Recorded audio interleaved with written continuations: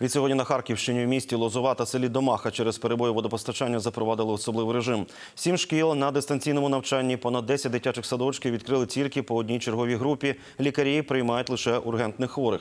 Так вирішила комісія із надзвичайних ситуацій Лозівської міськради. Діятиме такий особливий режим до повного відновлення водопостачання.